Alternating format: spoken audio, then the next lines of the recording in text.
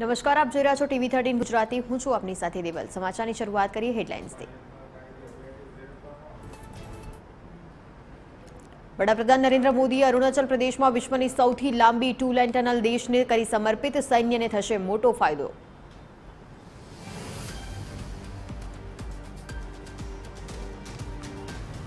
મોદીએ આસામના કાજીરંગા નેશનલ પાર્કમાં હાથીની કરી સવારી, જંગલ સફારીની માણી મજા. જીપમાં સવાર થઈને પ્રાણીઓને લીધી તસવીરો.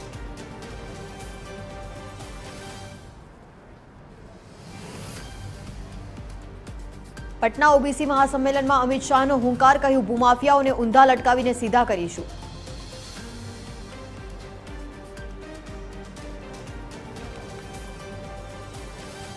લોકસભા ચૂંટણી પહેલા રાહુલ ગાંધીનું નિવેદન કહ્યું, જાતિગત વસ્તી ગણતરી અને આર્થિક સ્થિતિને સમજી પચાસ ટકાની અનામત મર્યાદાને ઉખાડી ફેંકીશું. આ પગલું દેશનો એક્સરે કરશે અને સૌને સાચું અનામત આપશે.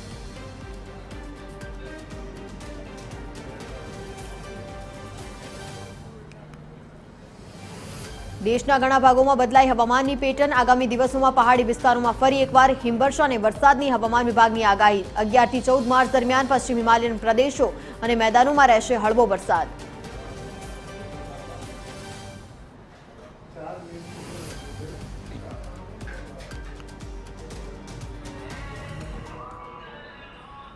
સમાચારની શરૂઆત કરીએ તો વડાપ્રધાન નરેન્દ્ર મોદી આજે આસામની મુલાકાતે હતા. તે દરમિયાન તેમણે આસામમાં રૂપિયા સત્તર હજાર પાંચસો કરોડથી વધુના મૂલ્યની અનેક વિકાસ યોજનાઓનું ઉદ્ઘાટન અને શિલાન્યાસ કર્યો. તો સાથે જ સંબોધન દરમિયાન તેમણે વિપક્ષ પર પણ આકરા પ્રહારો કર્યા હતા.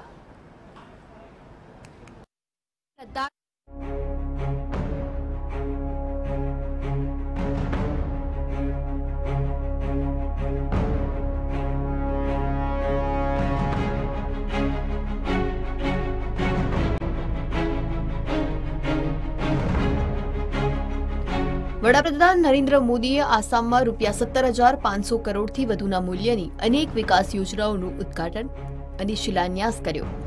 તેમણે આસામના જોરહાટમાં મહાન અહોમ સેનાપતિ લચિત બોરફુકનની એકસો પચીસ ફૂટ ઊંચી પ્રતિમા સ્ટેચ્યુ ઓફ બ્રેવરીનું ઉદ્ઘાટન કર્યું. જોરહાટમાં તેમણે મહાન અહોમ સેનાપતિ લચિત બોરફુકનની પ્રતિમાનું ઉદ્ઘાટન કરતા પહેલા તર્પણ અર્પણ કર્યું. તેમણે આસામના જોરહાટમાં મહાન અહોમ સેનાપતિ લચિત બોરફુકનની એકસો પચીસ ફૂટ ઊંચી પ્રતિમા સ્ટેચ્યુ ઓફ બ્રેવરીનું ઉદ્ઘાટન કર્યું છે, ત્યારે જોરહાટમાં તેમને મહાન અહોમ સેનાપતિ લચિત બોરફુકનની પ્રતિમાનું ઉદ્ઘાટન કરતા પહેલા તર્પણ અર્પણ કર્યું. પીએમ મોદીએ કહ્યું, આસામ પ્રત્યેનો આ અપાર પ્રેમ મારા માટે એક મહાન સંપત્તિ છે. આજે મને લગભગ પચાસ કરોડ રૂપિયાના પ્રોજેક્ટનું ઉદ્ઘાટન અને શિલાન્યાસ કરવાનું સૌભાગ્ય મળ્યું છે આસામના લોકોને સત્તર પોઈન્ટ પચાસ હજાર કરોડ રૂપિયા આપવામાં આવશે ત્યારે આરોગ્ય આવાસ અને પેટ્રોલિયમ ક્ષેત્રો સાથે સંબંધિત આ પ્રોજેક્ટ્સ આસામમાં વિકાસની ગતિને વધુ વેગ આપશે આ વિકાસ પ્રોજેક્ટ્સ માટે હું તમને બધાને અભિનંદન આપું છું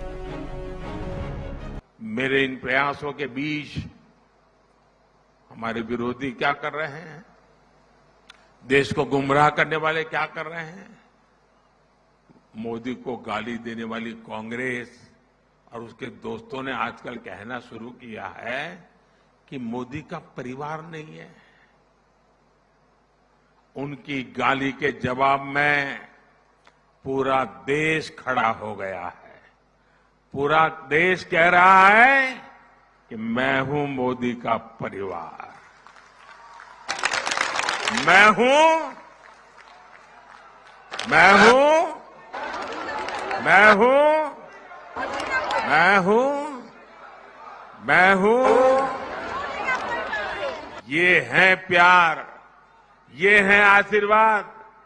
देश का ये प्यार मोदी को इसलिए मिलता है क्योंकि मोदी ने 140 करोड़ देशवासियों को सिर्फ़ अपना परिवार ही नहीं माना, बल्कि उनकी दिन रात सेवा भी कर रहा है। વિપક્ષને આડે હાથ લેતા પીએમ મોદીએ કહ્યું કે મોદીને ગાળો આપનાર કોંગ્રેસ અને તેના મિત્રો આજકાલ કહેવા લાગ્યા છે કે મોદીનો કોઈ પરિવાર નથી.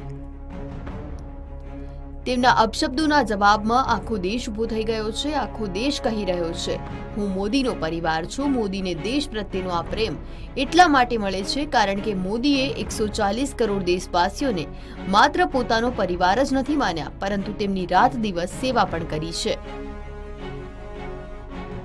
यहाँ आने से पहले मुझे काजीरंगा नेशनल पार्क की विशालता, उसकी प्राकृतिक सुंदरता को करीब से देखने का, जानने का अवसर भी मिला। काजीरंगा अपनी तरह का अनूठा नेशनल पार्क और टाइगर रिज़र्व है। इसकी बायोडायवर्सिटी इसका इकोसिस्टम हर किसी को आकर्षित करता है। काजीरंगा को, यूनेस्को की वर्ल्ड हेरिटेज साइट होने का गौरव भी प्राप्त है। विश्व में जितने सिंगल होर्न वाले राइनो हैं, उनमें 70 प्रतिशत हमारे काजीरंगा में ही रहते हैं। કાજીરંગા નેશનલ પાર્કમાં ગેંડાઓની સ્થિતિનું વર્ણન કરતા પીએમ મોદીએ કહ્યું, દુર્ભાગ્યવશ, અસંવેદનશીલતાને કારણે અગાઉની સરકારોએ આસામ અને તેના ગેંડાની ઓળખની જોખમમાં મૂકી દીધી. એકલા બે હજાર તેરમાં જ અહીં સત્યાવીસ ગેંડાનો શિકાર કરવામાં આવ્યો હતો. પરંતુ અમારી સરકાર લોકોના સમર્થન સાથે અમારા ગેંડાઓને બચાવવા માટે કામ કરી રહ્યા છે. નોંધનીય છે કે બે હજાર બાવીસમાં શિકાર કરાયેલા ગેંડાઓની સંખ્યા શૂન્ય હતી. Bureau report, TV thirteen Gujarati હકથી Gujarati. વડાપ્રધાન નરેન્દ્ર મોદીએ શનિવારે અરુણાચલ પ્રદેશના પશ્ચિમ કોમેંગ જિલ્લામાં વૈશાખી ખાતે વિશ્વમાં સૌથી ઊંચી બનેલી ડબલ લેન ટનલનું ઉદ્ઘાટન કર્યું હતું. તેમણે બે હજાર ઓગણીસમાં તેનું પાયો નાખ્યો હતો. આ સિવાય તેમણે પંચાવન હજાર કરોડ રૂપિયાથી વધુના પ્રોજેક્ટ્સનું પણ ઉદ્ઘાટન અને શિલાન્યાસ કર્યો છે.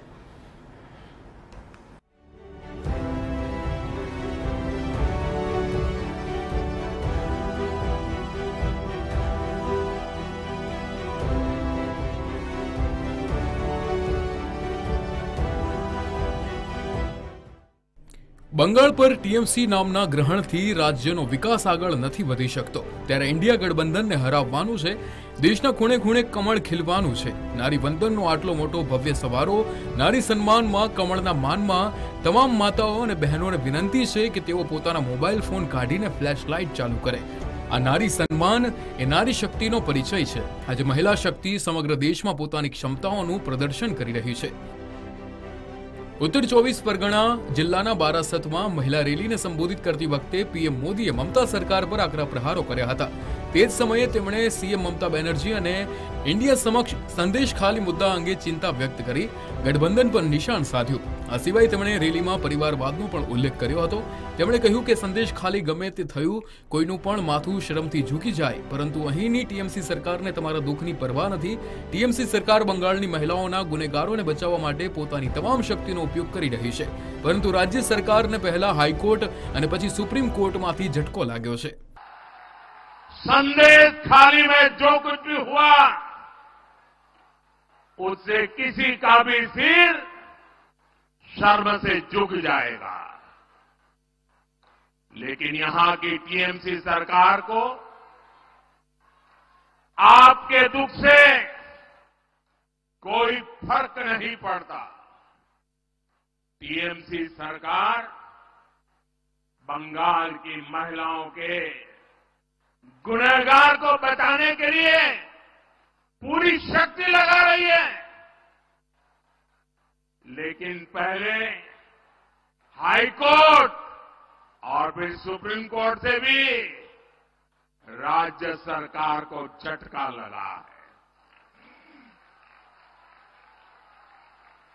गरीब, दलित, वंचित आदिवासी परिवार की बहनों, बेटियों के साथ टीएमसी के नेता जगह जगह अत्याचार कर रहे हैं।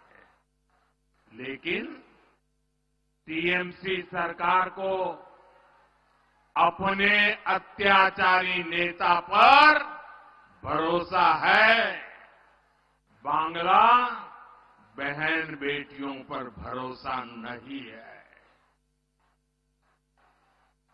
इस व्यवहार से बंगाल की महिलाएँ देश की महिलाएं आक्रोश में है વડાપ્રધાન નરેન્દ્ર મોદીએ કહ્યું કે કેન્દ્રમાં એનડીએ સરકારની વાપસી જોઈને ભારતીય ગઠબંધનના તમામ નેતાઓ નર્વસ થઈ ગયા છે તેથી હવે તેઓ મોદીને અપશબ્દો બોલવા લાગ્યા છે આ દિવસોમાં તેઓ મારા પરિવાર વિશે પૂછે છે તેઓ કહે છે કે હું મારું પોતાનું કોઈ કુટુંબ નથી તેથી જ હું પરિવારવાદની વિરુદ્ધ બોલું છું આ લોકો મારા પરિવાર વિશે જાણવા માંગે છે હું ઈચ્છું છું કે આ પરિવારવાદીઓ અમારી મીટિંગના સાક્ષી બને અને સમજે કે અહીં હાજર દરેક લોકો મારો પરિવાર છે साथियों केंद्र सरकार में एनडीए की वापसी पक्की देखकर इंडी अलायंस के सारे नेता बौखला गए हैं उनकी नींद उड़ गई है। उन्होंने संतुलन खो दिया है। अब उन्होंने पूरी ताकत से मोदी को गाली देना शुरू कर दिया है।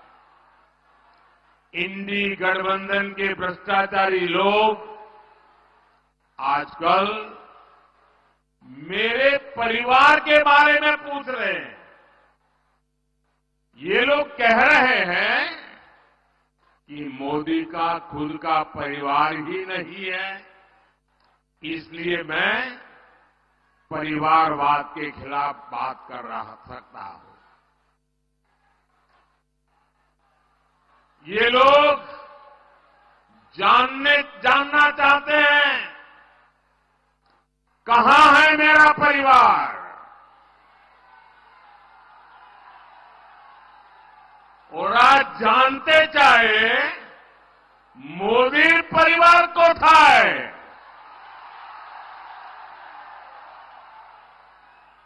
इन गोर परिवारवादियों को जरा यहाँ आकर के नज़र डाले।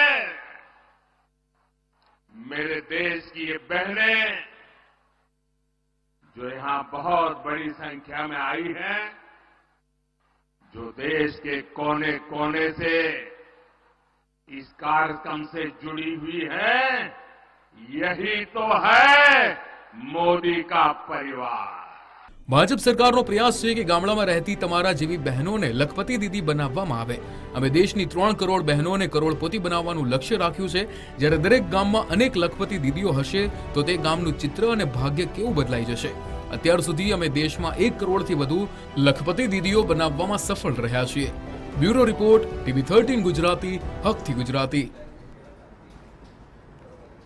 વડાપ્રધાન નરેન્દ્ર મોદી આસામના પ્રવાસે છે. વડાપ્રધાન નરેન્દ્ર મોદીએ વહેલી સવારે કાજીરંગા નેશનલ પાર્કની મુલાકાત લીધી હતી.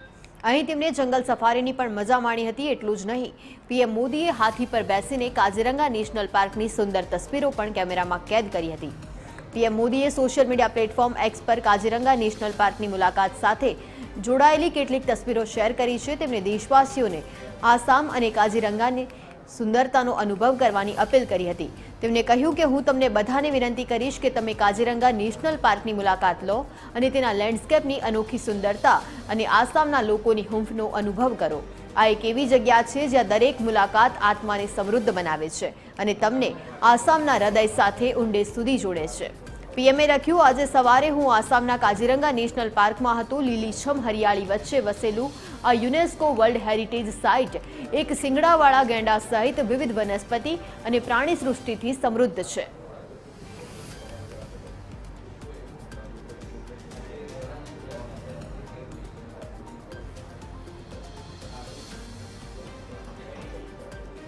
કેન્દ્રીય ગૃહમંત્રી અમિત શાહ ભાજપના કાર્યક્રમમાં હાજરી આપવા માટે પટના આવ્યા છે. આ દરમિયાન તેમણે કોંગ્રેસ અને આરજેડી પર આકરા પ્રહારો કર્યા છે.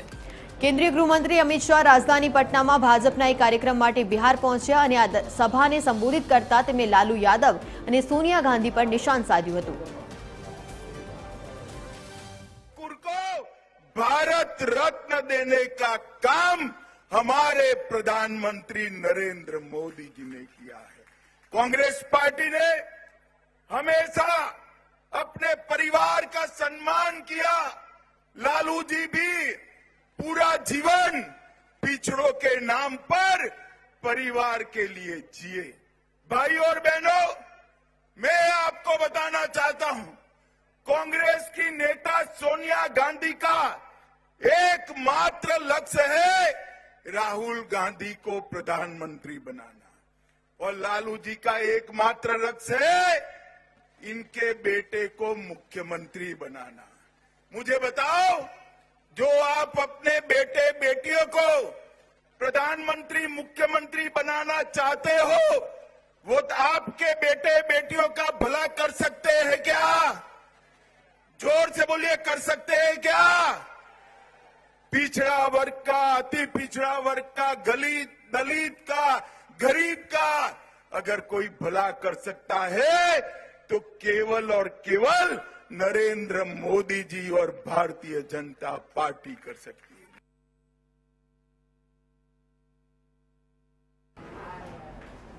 લોકસભા ચૂંટણીની જાહેરાત થવાને હવે ગણતરીના દિવસો જ બાકી રહ્યા છે ત્યારે ભાજપે લોકસભાની ચૂંટણી માટે ઉમેદવારોની પહેલી યાદીની જાહેરાત ગત બે માર્ચના રોજ જ કરી દીધી હતી ત્યારે કોંગ્રેસે પણ તેમની ઉમેદવારોની પ્રથમ યાદી જાહેર કરી છે લોકસભા ચૂંટણીની જાહેરાત થવાને હવે ગણતરીના દિવસો જ બાકી રહ્યા છે.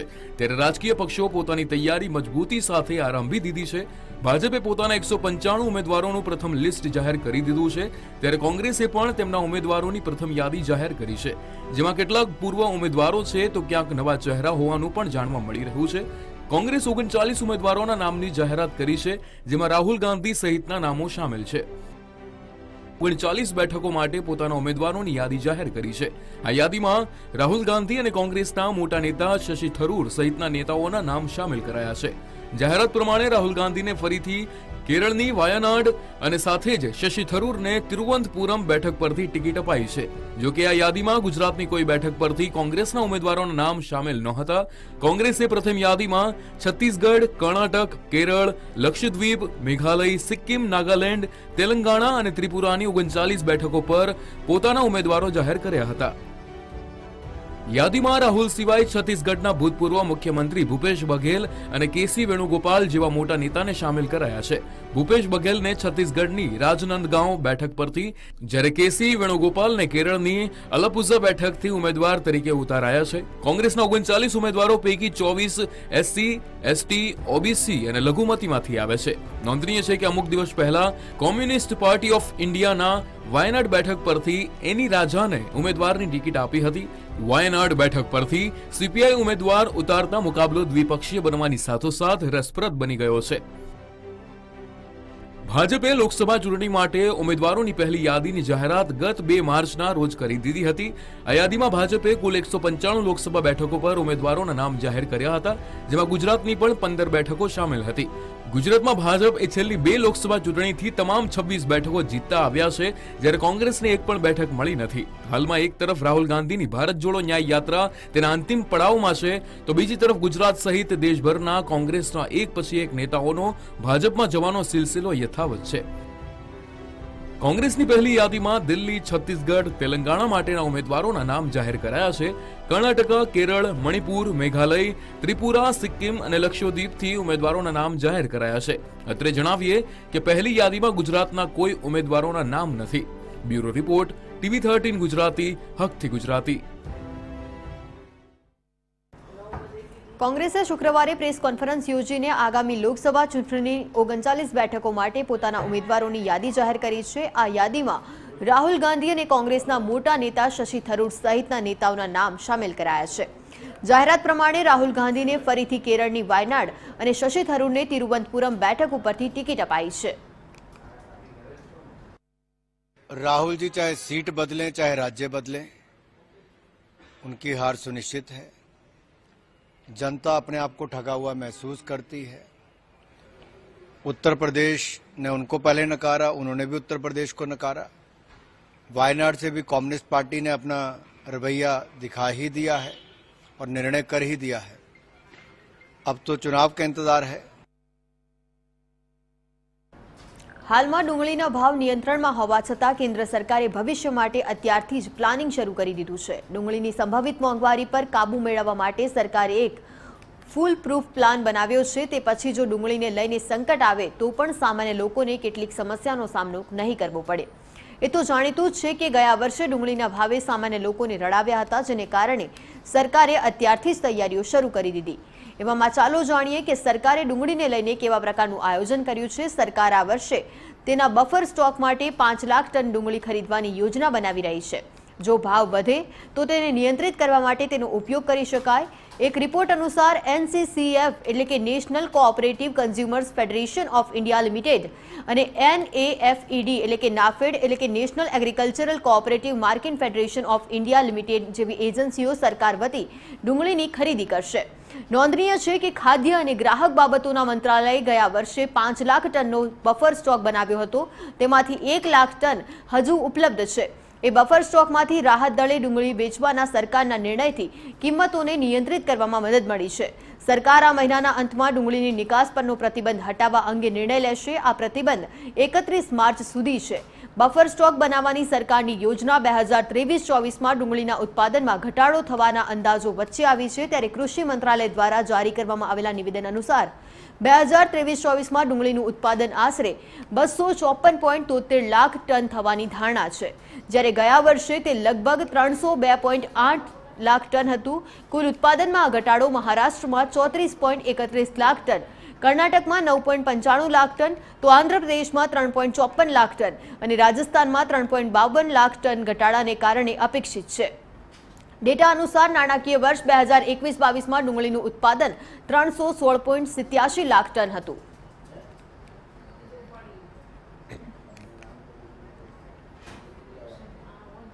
ભારતનો મોટા ભાગનો યુવા વર્ગ પોતાની સેલરીથી નાખુશ છે. એક રિપોર્ટ સામે આવ્યો છે જેમાં કહેવામાં આવ્યું કે ભારતમાં દર દસમાંથી સાત લોકો એવા છે જેઓ તેમની સેલરીથી ખુશ નથી અને દસમાંથી પાંચ લોકો કામની સરખામણીમાં પગારને વધુ મહત્વ આપે છે.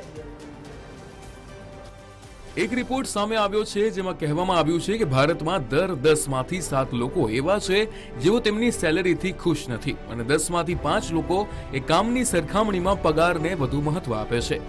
તમે દર મહિને કેટલી કમાણી કરો છો અને શું તમે તમારી સેલેરીથી ખુશ છો?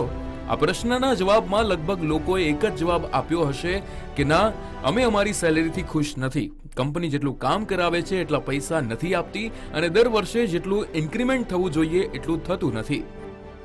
એવામાં હાલમાં એક રિપોર્ટ સામે આવ્યો જેમાં કહેવામાં આવ્યું છે કે ભારતમાં દર દસમાંથી સાત લોકો એવા છે જેઓ તેમની સેલેરીથી ખુશ નથી અને દસમાંથી પાંચ લોકો કામ કે ગ્રોથ કરતા પગારને વધુ મહત્વ આપે છે. રિપોર્ટ મુજબ, હાલ ભારતમાં એકવીસ ટકા અને મલેશિયામાં નવ ટકા કર્મચારીઓ તેમના પગારમાં વીસ ટકા વધારો ઈચ્છે છે. વધુ એક રિપોર્ટમાં એવું પણ કહેવામાં આવ્યું છે કે ભારતમાં એકાણું ટકા કર્મચારીઓ અને મલેશિયામાં બોતેર ટકા કર્મચારીઓ નોકરી બદલતી વખતે ઓછામાં ઓછા વીસ ટકા સુધી તેમના પગારમાં વધારો કરવાની અપેક્ષા રાખે છે. આ સાથે જ એક સર્વે કરવામાં આવ્યો હતો જેમાં કંપનીઓને પૂછવામાં આવ્યું હતું કે શું કર્મચારીઓના પગાર ધોરણમાં સુધારો કરવાનું વિચારી રહી છે. સર્વેમાં સામેલ નેવું ટકા કંપનીઓએ કહ્યું કે તેઓ આગામી બાર મહિનામાં તેમના પગાર ધોરણમાં સુધારો કરવાનું વિચારી રહી છે. એક અહેવાલ અનુસાર, એશિયા પેસિફિકના અન્ય દેશોની સરખામણીમાં ભારતમાં પગાર વધારો સૌથી વધુ છે. વર્ષ બે હજાર ત્રેવીસમાં ભારતમાં પચાસ ટકાથી વધુ કર્મચારીઓને પાંચથી દસ ટકાની વચ્ચેનો વધારો મળ્યો હતો, જ્યારે પંદર ટકા લોકોને પગારમાં વીસ ટકાથી વધુનો વધારો મળ્યો હતો. આ રિપોર્ટમાં એમ પણ કહેવામાં આવ્યું હતું કે મહિલાઓને ઓછો પગાર આપવામાં આવે છે ભારતમાં પુરુષો અને મહિલાઓના પગારમાં ઘણો તફાવત છે. મહિલાઓને પુરુષ કરતા ઓછા પૈસા મળે છે. Bureau report, TV thirteen Gujarati, હકથી Gujarati. લોકસભાની ચૂંટણી પહેલા જ મહત્વના સમાચાર સામે આવી રહ્યા છે. લોકસભાની ચૂંટણીના એલાન પહેલા જ ઇલેક્શન કમિશનર અરુણ ગોયલનું રાજીનામું સામે આવી રહ્યું. કાર્યકાળ પૂર્ણ થવામાં ત્રણ વર્ષ જેટલો સમય હજુ બાકી છે, તે પહેલા જ તેમને રાજીનામું આપી દીધું. એક ઇલેક્શન કમિશનરે રાજીનામું ધરી દેતા અનેક તર્ક વિતર્કો સામે આવી રહ્યા છે, સાથે જ ત્રણ કમિશનરના પંચમાં એક કમિશનરની પોસ્ટ ખાલી પડી.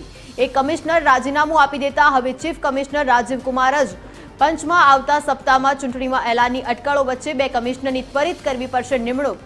ગુજરાતમાંથી પણ કોઈ એક અધિકારીની ઇલેક્શન કમિશનમાં જઈ રહ્યાની ચર્ચા છે. સાથે જ અરુણ ગોયલના રાજીનામાનો રાષ્ટ્રપતિએ સ્વીકાર કર્યો છે.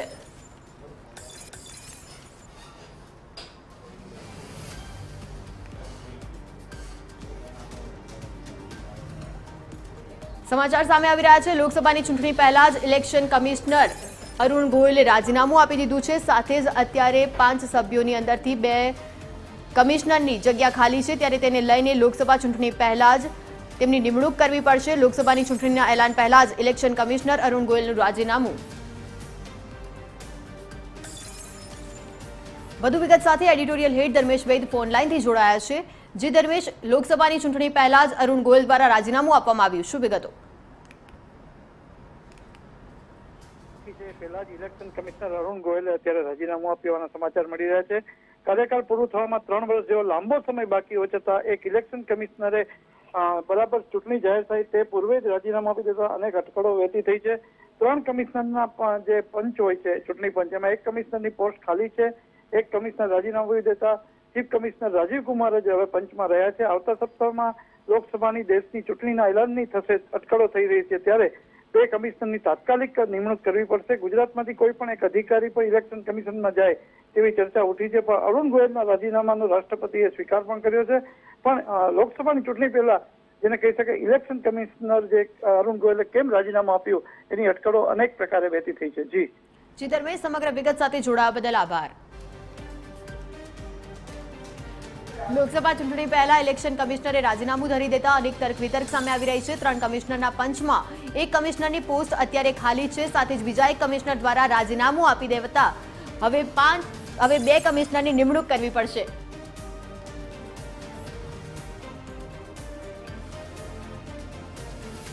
હાલ સમાચારોમાં બસ આટલું જ. વધુ સમાચાર માટે જોતા રહો ટીવી થર્ટીન ગુજરાતી, હકથી ગુજરાતી. નમસ્કાર.